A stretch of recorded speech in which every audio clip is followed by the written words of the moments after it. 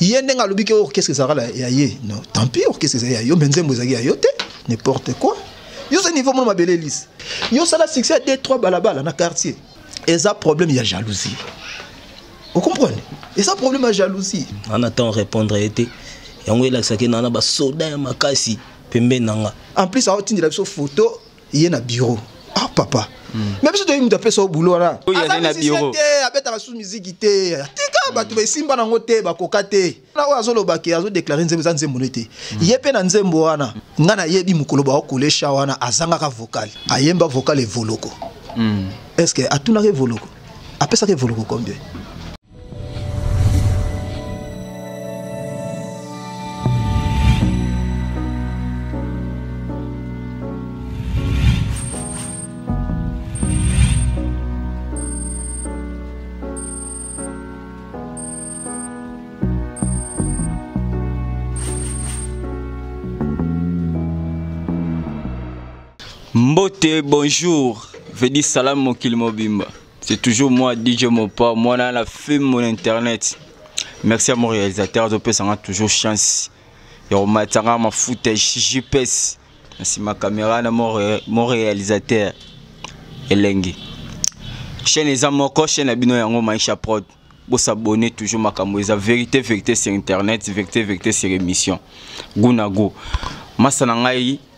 ya Dallas ba massa na nga États-Unis ba massa na nga mokili mobimba DJ Migue ya bo comprendre te DJ Migue toujours entouré na ba eza bitumba eza guerre ekosila te tozala nango ebandeli ntina suka masa na nga jane star andi jambo aloyi makambo ndenge tokende yango masa na nga besi swek depuis libanda mboko comprendre orli kisasi orli kisasi me belanga yango yango ti basirvete na kanda na yango na bastatu wana ezokoma te nayebi kende na oyebisa ngai nazela confinement ekoma na kosepela masolo eza lelo eza makambo emission na ngai nayebi ke ndenge ebandaka ndenge esukelaka bino boyebi ndenge bomoni ngai bocomprendre emission eza tobetaka 20 minutes vérité vérité ja flash aller flash retour oyo eza te ezwila ngai na opena namona pena bato oyo toza na bango mpona na méchant na méchant makasi ntango na méchant bokopaleke na seke bato nazala bango mpe fo bazala na me na méchant mpo méchant ebandaka nao shenga moko bonjour héros ouais bonjour le grand journaliste dj miki ya mboka oyo okopali eloko na na méchant mais méchant wana eza mafuta mafuta efo emata mpo esala tranquille tokos nabenda ena opanzi na ngai soki ya gauche koto na na mpaka na ngai Bonjour Paka. DJ Mix grand journaliste, bonjour. Ouais. Bon, ça na zo, ça na à l'aise mon climat maison tala se présenter, ba comprendre que non, oza nani po héros to za za na ye. Oza nani po lelo pe oye na makambo kanda po na nini? Non, nga naza na se présenter d'abord. Gesho Kapesa le cardinal Mosabu bato nyonso bayebi mabele eyebi. Donc naza bras droit ya artiste et artiste pardon, mm. héros national. Donc artiste oyo azosala fierté ya mabele mm. pe azosala fierté ya Congo nyonso. Ah. Yango moni toye tolobela mamu ya album mm. bras ouvert mpo kala mingi te bozozwa yango déjà na marché yango mingi mingi masolo tokoki kobeta yango wana serge pufi yango mingi mingi masolo tokoki kobeta yango wana bocomprendre ke kote oyo naza na leader kote oyo naza na bureau ntina asala émission oyo omoni biso bajournaliste toyaka mpo na coup pouce nano bango tout te toyaka mpo na coup pouce ya mission oyo ayosalama mba bien meme yo mpe so osalemama bien nakoya naza ya motu te na pe na parti pris te nga parti pris naza chaîne nga maisha prod yango te esalanga naza bino te nayebi bino te star lote fa tosalaki émission na bampaka lote fa tosala émission na biro makambo na yo ezotambola na, ba, na, eh? na kikaka moko boye na kokanga moko boye kintina mpo na nini Ouais, toutefois, nga naza nation ya mboka, naza nation ya mboka, musicien oyo naye na makambo ya sika. Makambo nga naosala na musique ndeti na mabele oyo ya biso nga fani na esalama te. Na esalama te. Yango naopesa merci nao na bakolo tout, ba doyen tout oyo ya mabele oyo baya ndroit. ya mabele lokola bapesi nga pouvoir natambusa makambo seke makambo to eza normal kua namoni toza na mawa namoni mpenza neti toza na mawa ondire bato kango makasi balibere yoko bon mingimingi eza mawa te mingimingi eza kanda ndenge olobaki mm. me naosepela mpo baoyo ya ngai ya mabele mpo mabele epesingaki bokonzi mm. bakomprendreke te nation ya mboka ye wana naopesa merci na bamisa na ngai tu baza libanda mboka oyo baabana mabele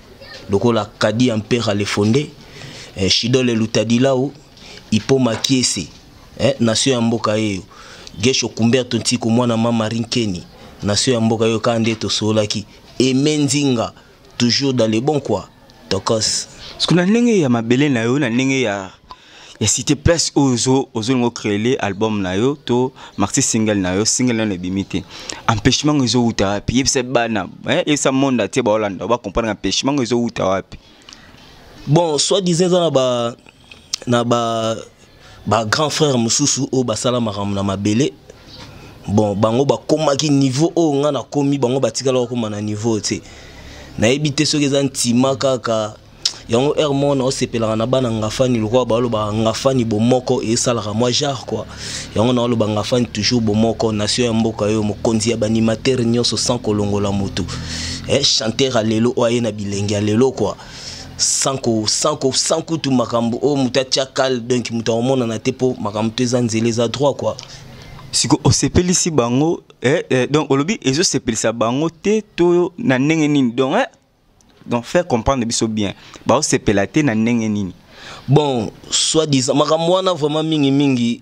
se na bino bando hmm. loba loba ngo makambo wana faut tout nango mingi cardinal Musabu Mta aza mieux placé pour nous répondre ba makambo wana pour nga se na bando hmm. tanga ba komo ende na bando fula bango awa de na na temps fula bango c'est que ba menacer au makasi mo ezate tala ndeko na biso start yakini na vitesse na moni pena lelo tia passer nga koto yo bon namoni lelo nazwa mwa tante loko otikeli ngai na mosabu tosola mingi mingi na mosabu mosabu dj mix nazali na leader oyoki na leader mpo toza nao mpe donc toza oyo okangama totonga nano mpo leader namoni lelo mwa malesaki bambanzi ekoti makasi yo oza moto soki okobimisa bambanzi wana soki oza sika okobimisa bambanzi wana bon omoni biso awa ndeti na bamabele oyo mm. déjà ba 38 ans awa comprendre tokoli mm. awa toyebi mambo awa blaki te ah. donc soki oye na bakindenge moko boye te biso tokozongisa yo tokoklasse yo na ndenge yo olingeli te pardon na kati te ah. biso ezalaka verité verité ah. kindenge wana bamosusu bacomprendre te kindenge wana fo detaille biso tocomprendre non omoni euro aza artiste oui, oui. awa baartiste baleka ebele mm. ozo comprendre baleka ebele bon tozo comprendre seri bango mm. baleka kala wana chaîne ya télévision ezalaki ya mpasi mm. réseau sociaux ezalaka te osali succès ya 2 3 balabala basukaki wana delo okomona bapeti lelo bakomi koévolue delo tokomi plus de 100 chaîne ya télévision baréseau sociaux ye facebook youtube information ezokende rapide mpo na bango lokola ezalaka te série wana ekomopesa motema mabe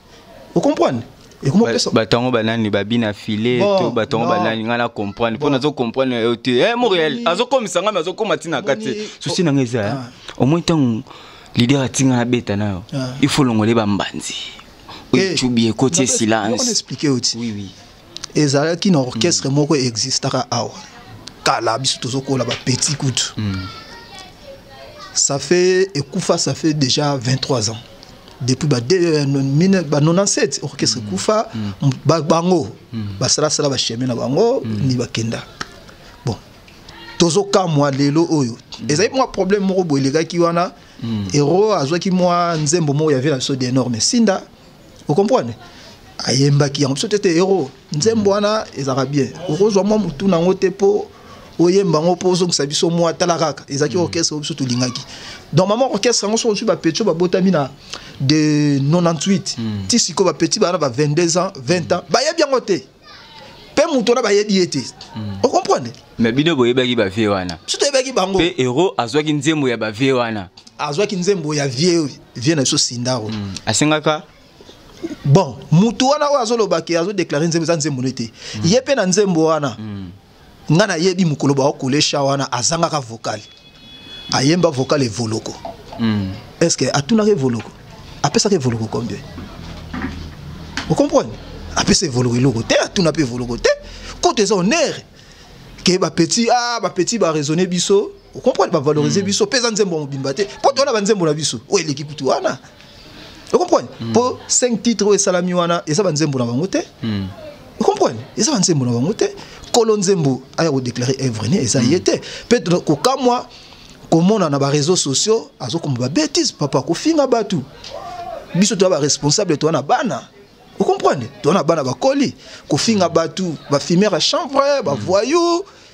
ndenge auti kosala babese ne awa hmm. ke ndenge eza wana bilongi na bino bato namoni wana bilongi na bino na oyo ya ngai bilongi na bino hmm. eza ya bato ya diamba ya bato ya lotoko mbe ngai nde natalaki elongi na ye namonaki kaka coko bana poto bokompare eliamba saveli lopipo eloko eh. tobendaka na ndenge akini bana poto ngai namonaki kaka coko en plus aotindela biso photo ye na bureau ah papa mm. mais biso toyebi moto apesa yo boulot wana ye musicien atimi no photo ye azali na bureau te abetaka susu miziki te tika bato mm. baesimba nango te bakoka te asala succès ya 2 3 balabala ocomprendre ozotinda photo osalaka na bureau biso na bureau no problème nini yo ozosalaka na bureau yo moto ozwa te atraite biso baillettre te toza na badiplôme oyo toza na bacapacité ya kosala lokola ye azosala o comprendre mm. toyebi moto apesa ye mosala na biso mpe tokosala so ozwa opportunité ya kosala tampi etali biso te o comprendre dj mm. donc koloba ke o oh, kotraite bato comme bavoyou non toza bavoyou te nous sommes pas des voyous le contraire ye moto aza voyou mpo ye moto azo utilise benjure mm. hein si si bo comprendre ete bo comprendre idéologie ndenge ezokende la deuxième question nanga eza boye atraite bino bavoyou atraite bino bomelaka diamba soit disant hmm. balotoko balotoko donc balotoko ça veut dire agene babenga agege soki ntongo atraite bino bongo yango esali ke non mm. Euro alembi na ye po euro euro hein euro alembi na ye siko. Non, euro ko lemba te. Kutu ye kutu ko tala ye te. Est-ce que biso to ko attaquer mutu asala azo sala eloko yango te. Ya sasu na domaine te. Biso to ko attaquer mutu aza na domaine. Ya za na domaine o te. Ya tikaka la ça fait 23 ans. Ya sasu artiste te. To ko attaquer ndenge ni. To succès azo loba ke to luka succès na kombo na yo ba yebi yo te su na quartier oyo. tobengaka petit moko ba 20 ans a 22 ans totuna ye sasa boyebi sasa aye bayebi ye te bayebi ye te biso bayebi biso biso toza a bayebi biso nga soko bimi awa otuni héros national mm. artiste moko awuta pa fali okomprene mm. héros bayebi soko oya otuni gesho kapesa le cardinal bayebi ye babima awa batuna nkombo na ye bayebi ye te Vous comprenez Baza ba génération passée, biso mutu yebi bango. Ba petit ba yebi ba yebi bango te. Vous comprenez Soki azo luka succès, yende azo luka succès. Pour ko tia déjà ba mafinga na ba réseaux sociaux, tozo mona bato bazo benga biso. Yo zo traiter biso ba voyous, ba melidiamba, ba mela lotoko. Ba comparer longi na biso na oyo ayena santé. Santé wana nga na mona eza ya C4. namonaki elongi namonaki kaka namonaki nini namonaki kaka coko me nga dernièrement na kote na réseau sociaux namonaki nzembo bino boyembeli ye ye moko mpe mokolo nzembo arépondre sur nzembo na ye epaka ke non bapropos eza ke non bino boyiba nzembo na ye sans bosolicita ye boleli yango pardon ah. boleli yango mbongo non nzembo eza ya ye te ngai nakobetelo histoire ya mouvement wana te mpo base ya guerre euti na chante nzembo te pardon ah. base ya guerre euti wapi euti na chanson wana merci mm. euti na titre nango eza la vie la vie ocomprendre mm. eza vie nzembo ya vie na biso d'énorme sinda azalaki soliste ya jvc muzika kolo chanson okomprendre mm. kolo chanson azoloba eloko te ye ndenge alobi ke orchestre ezalaka ya ye no tant pis orchestre ezali ya yo mpe nzembo ezalaki ya yo te siko ndenge bino bomonela esusi na ye koyozala nini mpo na ye alobi ke mm. je crois motu oyo toyembelaki mm. nde apesi eloko azoloba nini ke eh, fali ayemba nzembo ya mabele lisi mabele elisi apesa ye papa n'importe quoi yo ozali niveau mona mabele elisi mabele elisi atikaki baevre oyo ezalaki protégé orchestre mabele elisi ezo existe mpe azalaki star ya moke te donc mutu mpo ozwa eloko na ye fo otuna ye fo opesa ye quelque chose yo osala succès ya 2 3 balabala na quartier bakopesa nini kasi yango kaka succès bino mpe bolinga bosala te Ah? succès kaka yango mpe ah, biso toya succès te biso bana poto bayebi biso na ngola bayebi biso bayebi makambo oyo oyo dj yo soki oye boye ye banda banda miziki si avanda na journaliste boye baopose bakestion miziki ya sala miziki oyo ya sala si avanda boye kamera liboso boye batie micro boye bazopose bakestion po tv ezala na mpasi tozalaka soki na karibu variété okoleka kuna ndeni tv ezalaka mpasi papa tozonga nsima tozwa ba de 90 ti toya 95 96 tv ezalaka ya mpasi te tv ezalaka ya mpasi réseau sociaux ezalaka te eza problème ya jalousie okomprene eza problème ya jalousie merci totikela mwa moke souffle mpo pema tozonga moke na leader eza problème ya jalousie jalousie ndenge ezokotaka na mokili fedi eningisaka motutu ah ero okoti malili eh? jamais kutu nakota malili mpo nga na nation ya mboka automatique omoni nga na na temps ya korepondre ye te eh? mm. nga na temps korepondre ye te yango elakisaki na na basoda ya makasi pembeni na nga eh?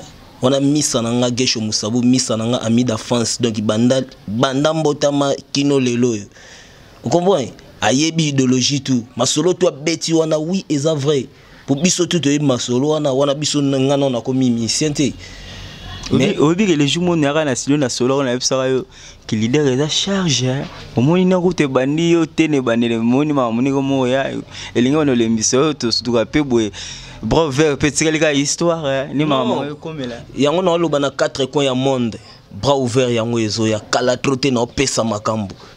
pesa makambo ozwa makambo bras ouvert yango kala tro te eh, bientôt lawa clip déjà ya chanson afro congo miziki ya mboka oyo kaka boye 4 coin ya monde bozela nation ya mboka azoya le président remi makabu thierry makinu shaka daya héritier daya nation na bino oyo tokoska nde tosololaki na osalaka makambo yango kaka nde tosololaki me ngai na omona otulita na bampaka ka bampaka yango bango na baobetaka yo mbeli eza nini te bampaka oyo baobeta mbeli wana bayebi makambo oyo te bayebi makambo oyo te omoni nayoki otuni cardinal mosabu mpo na nzembo omoni nzembo wana biso toyebi nzembo wana lelo te nzembo nazwaki mpe nzembo wana mobimba te nazwi un petit morceau nayebi te petit morceau oyo mm. nazwa yango mpo nabeta yango nayembela na, na vie na nga blaise duda moshino mbongo eh? blaise duda moshino mbongo ayoki aleli esali ye bien mm. etake vie na nga ya palais bango sikoyo telema makambo oyo bango batikala kosala yango jamais makambo oyo batikala kosala yango te vertige ya makambo oyo sikoyo yango moni nazongisi bato ya biro na studio moto azalaki na biro asalaka na studio asalaka na biro mais azongi studio soit disant batraite bino bavandeur de chambre oyoki yango te okaki yango ah, bon wana ye moto ayebi ye moto ayebi ayebi seke asalaka ye nde asalaka makambo yango mpo ti ayebi makambo wana ayebi ye nde moto asalaka makambo yango ye nde moto amelaka babiloko wana oyo aotanga wana mais azala vie na yo te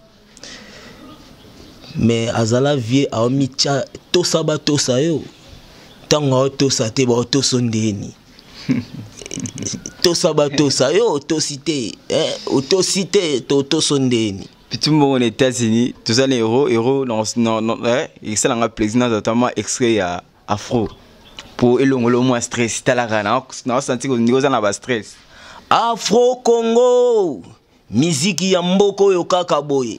Le docteur des ignorants Eric Mandala boss. Écoutez nation.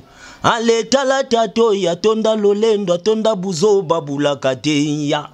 Baninga bazobe dalibanga ye kaka buzoba na gardien. Luka mbongo. tikaka kombo ya baninga ah, lelo ya ye lobi kuna yo mpe kozimba na modoki nde yo kozua e eh, luka ya ya tika zuwa lona mpo lobi obuka mbuma voila nasukisi kaka wana mpo elenge ezoya kala tro te bozwa yango bras ouvert ezoya pesa makambo ozwa makambo okomprendre ke euro azali montréal ezongela ngai na kota mosabu euro opesanga kaka mwa 5 minutes tala tato ya tonda lolendo oyoka yango te oyoka wana artiste mm. ozoyoka artiste bino mosiko bookende kocuba aka vie wana non soki ya cubi bino ekomi problème mais artiste mpo ozala na idéologie fo idéologie ala sans idéologie ma trop idéologie yango ya kocubaka bamikolo na teme oyo omonaki acubami seke ayebi likambo ndule eza idéologie ndule sans idéologie maratro okomprene sans ido ndule eza idéologie ngana biso boro oyo hmm. bras ouvert na oyebi biso epesa makambo siko bino euh, bozwi na guerre kaka ya famille namoni ko mobuka bino mapeka botongo bokozwa guerre siko ya monde atie no biso ah, euh, grand journaliste toza bana kisasa okomprene hmm. oh, toza mille esprit toza bana kisasa toyebi mamu ndenge ekendaka donc biso moto akobuka biso aza te aza te eza ndule ndule ezalaka sans pitié ndule ezalaka na mawa te ndule ezalaka te nini okomprene hmm. ndule eza beta sala evre bien okomprene soki osala eloko noa hmm. bien bato baondima okomprene ndeti na oyebisa yo yo ozala na studio yoka okomprendre mm. badeconfine kaka makambo okomona mpe nayebisi bino nalobi na bana kisasa mm. okomprendre badeconfine bokoyoka bras ouvert okomprendre ah. c'est bon grand pote mosabo oyebi kaka ecran ezaka mm. temps ebandeli mpe suka mm. na osepeli opesa message moko oyo kozala ekokomela bato oyo baotya bino tu bakale atake yo grand prêtre atake yo mokolo atake yo don bamafuta nyonso na matiseli yo ofe comprendre mokili ecomprendre bon ngai nakolobaka boye omoni soki mutu na vie soki ozosala likambo bakomba ezalaka kaka okozo comprendre grand journaliste mm. komba ezalaka kaka tokoki kose fatigue te mm. mpo na mwa bakomba moko ya mike mike mm. me oyo ngai nakoloba ke nakoyebisa mingi surtout base bana mabele mm. bana ngafani artiste na bino yeyo héros national nation ya mboka ocomprendre mm. bras ouvert ezoya oyo nani ezala te mpe ebele baoloba est ce que ekesimba ekesimba ezalaka nango kaka bongo yango te koko décourage biso mm. bras ouvert e, e, ezoya bazela yango kongo mobimba ezela yango ocomprendre na bana poto mm. na bosani iyoke makambo bana poto soutien eza ya danger mm. tozwi neti na bamboka états-unis mm. ve na biso narcise kapesa fabrice kapesa ridi kapesa mm. ocomprendre mm. donc bana states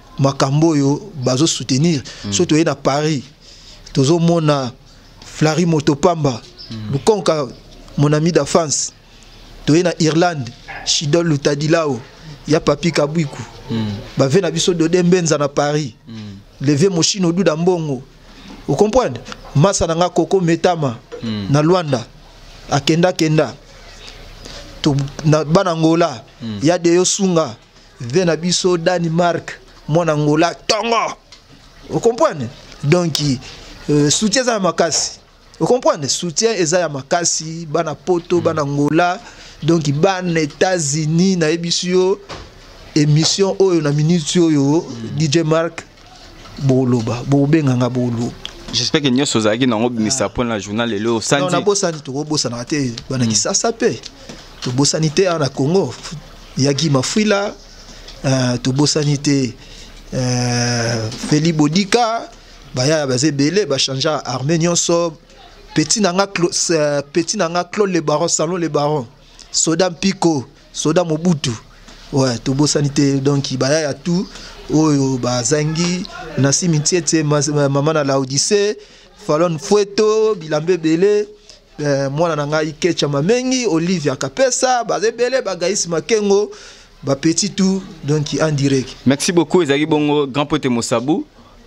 ayeka kotalisa biso nzela ya makambo ndenge ezokendele ndenge koto ezolobama ndenge koto ezolobama parke gauche droite ndenge makambo ezotambola ayolangisa biso nzela donc classir ya makambo ndenge ezali artiste toyoki grand pote mosabu ndenge apeseli ndenge mpe asololi ndenge mpe azongisi biso na makambo oyo toyebaki te ndenge mpe azongisi bandeko na biso baolanda biso na etando bakomprendre ke non nzela mpe ezalaki boye erreur mpe ezalaki boye exige bino moko sikoyo antake yo moko leader tozela nini ouais bozelaka bras ouvert bras ouvert yango ezoya kala tro te pesa makambo ozwa makambo bras ouvert ezoya 4 coin ya monde nation ya mboka ye automatique eh, ka nde nalobaka ti automatique pesa makambo ozwa makambo bras ouvert afro congo miziki ya mboko oyo kaka boye après afro congo bozwa chanson ya moshino duda mbongo la vie et après la vie bozwa générique générique wana eza bras ouvert et place nakangi baanimateur nyonso ya mboko oyo sans kolongola motu eh? les grands coiffeurs les grands coiffeurs ya mboko oyo josue josue ewulu eh, ndega ezalaka nation ya mboka yeyo Guy Mafuila la Roche nation ya mboka yeyo ka nde tosololaka eh? Chaka Daya mon vieux Chaka Daya mon vieux Chaka Fioti Womo Chaka Fioti Womo mon vieux nation ya mboka yeyo petit na oka nde tosololaka pesa makambo ozwa makambo kwa namoni mpo na lelo euh, makambo ozalaki na osoloba yango wana ndenge naza boye mingi mikolo na olingo loba esusu te na olingo mpo omoni ntina bimi boye mpo na senti dérangement na bino bajournaliste boluki nga fort mpo na makambo oyo yango na bai te makambo oyo nakozala nga moko te il faut cardinal mosabo azala wana mpo azala mieux placé mpo na koexplike bafere oyo yango aexplike bafere oyo tout narcisse kapesa fabrice kapesa ridi kapesa kaka nde ezalaka nation ya mboka yeyo merci ero bocomprendre kaka ke na méchant méchant ezalaki vedi kanda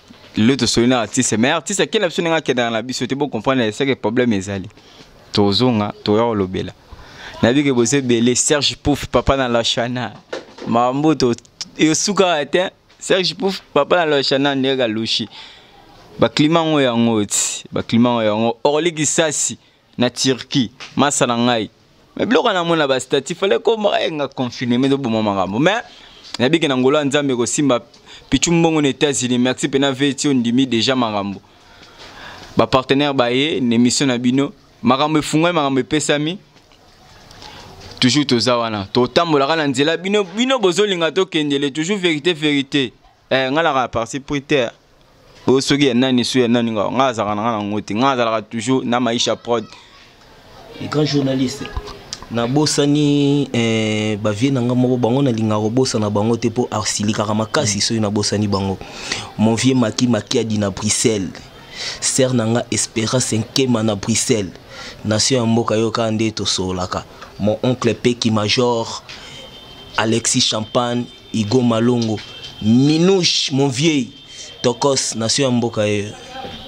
Merci. Bolinga. Bolinga toke nango ti wapi? Boza ta, bo comprendre que artiste aza na mikolo na bambanzi ba okote makasi. Mais tokoya kaka tokolongola ngo. Tokoya kaka tokolongola ngo po biso tozaka po na bino, bino bozaka po na biso. Merci à mon réalisateur. Nasuki nanga bongo lelo.